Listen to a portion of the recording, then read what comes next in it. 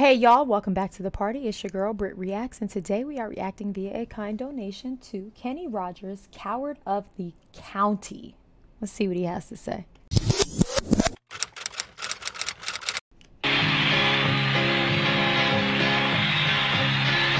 Everyone considered him the coward of the county.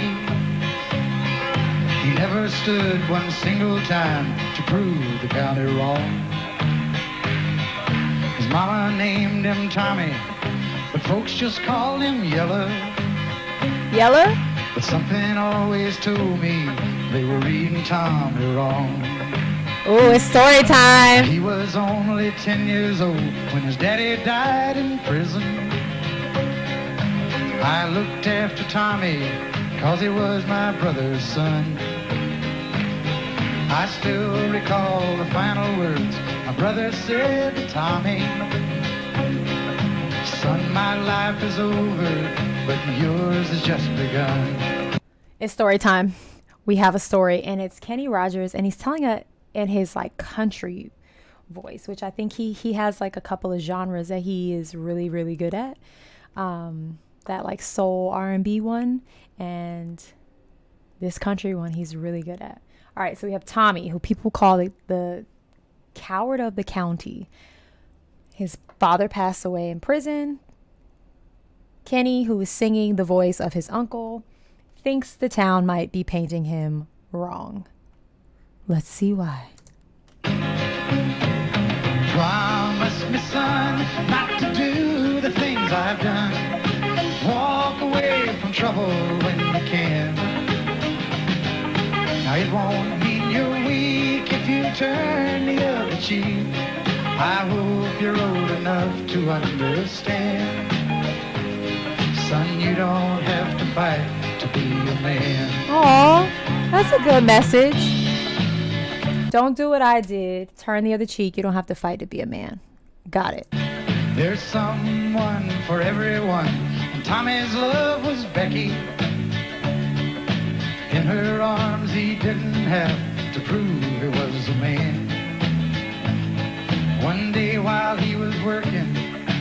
Gatlin boys came calling.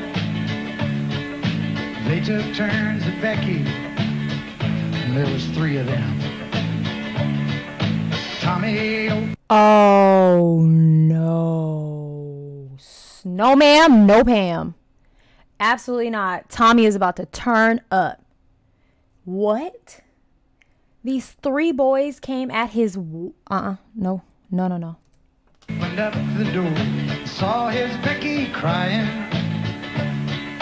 The torn dress, the shattered look was more than he could stand.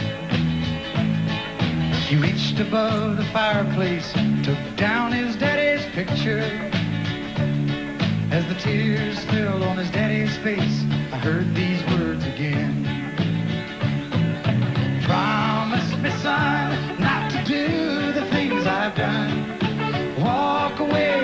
Trouble if you can.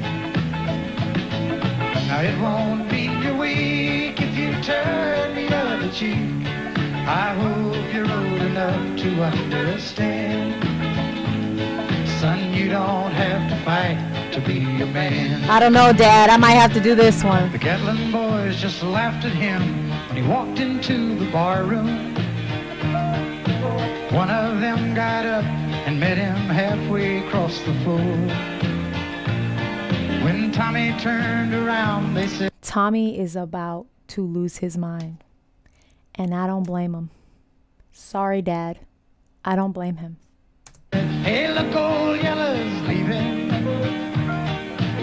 But you could have heard a pin drop when Tommy stopped and locked the door. Twenty years of crawling was bottled up inside him. He wasn't nothing back. He let 'em have it all. When Tommy left the bar room, not a Gatlin boy was standing. He said, this one's for Becky, as he watched the last one fall. And I heard him say, I promised your dad not to do the things you've done.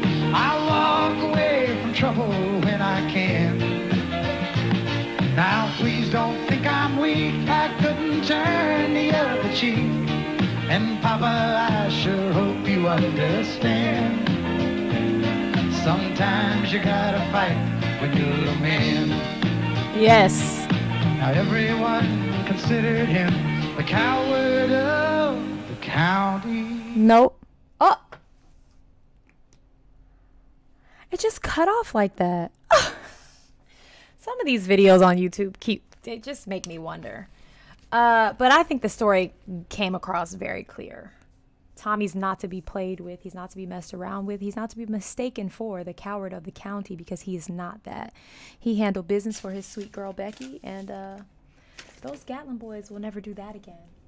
If they can even get up to do anything, use the bathroom, have a glass of water, any of it. Uh, whoa. I love that. That was like not how I'm used to seeing Kenny. Sweet panty dropping Kenny. Uh, that was good. I was invested in the story. Y'all know I love a story time. Um, all right. Go have the day you deserve. Peace.